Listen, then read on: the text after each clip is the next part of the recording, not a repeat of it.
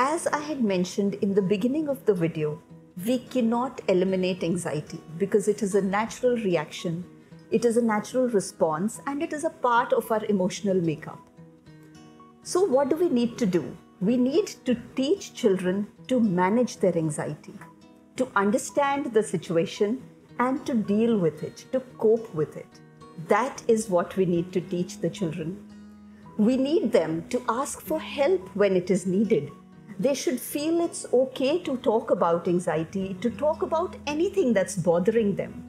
As parents, it becomes our responsibility not to shy away from topics, but to talk about it and explain it to them. We need to model ways of handling anxiety properly to children. Healthy ways of handling anxiety should be a part of the coping mechanism that children have. Routines are very reassuring for children. So try to have set routines for them. And if you're expecting a change in the future, for example, if they're going to start school or if you're going to move to a new place, in fact, even if you need to get the child ready for a birthday party or a marriage function, just inform them beforehand, talk about it to them, talk what the situation would entail, who they would meet, and try and reassure them so that they are very comfortable when they go into the situation. Distressing events cause distress for everyone. So, if there's a death in the family, if there's sickness, if um, the pet falls sick, or if the child's friend becomes sick, even that causes anxiety to a child. If the child is scolded in school, it's a very small thing, but for children, it becomes a very big issue. And not by issue, I don't mean that they're exaggerating something. It is how they react. We need to understand the situation from their perspective. Something that seems very small to us might be something huge for them. So understand that, reassure them, talk about it. Rather than telling them, don't worry about this, it's okay, you've performed so many times on stage, why are you so worried? Rather than saying that, discuss their feelings. So you have a performance coming up, you have to go up on stage tomorrow. How do you feel about it? That makes the whole situation more approachable to them. They're able to communicate their feelings, which is what is important. Simple relaxation exercises really help.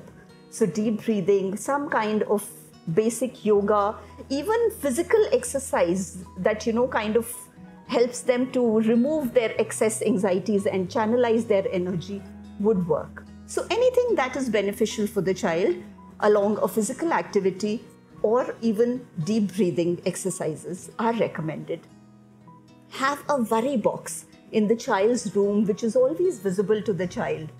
Ask them to draw if they are very young or write down whatever is making them anxious, whatever is making them worried, and put it in the box. You can have a fixed day and a time when you open up the box, see the things that have worried the child over a period of time, and discuss it, talk about it.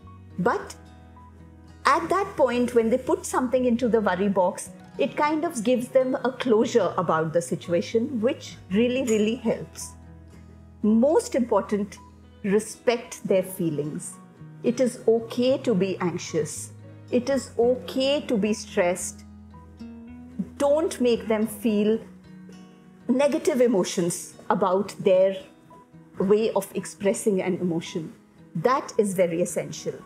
You can also have something called feeling scales. Sometimes children don't understand what they are feeling.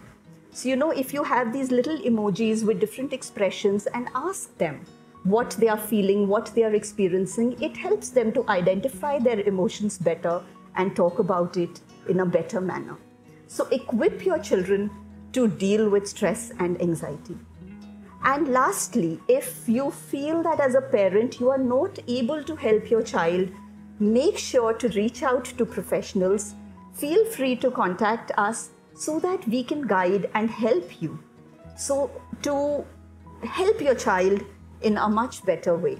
There are many, many strategies, many online resources, tools, therapies which actually effectively help a child to deal with anxiety in a much better manner.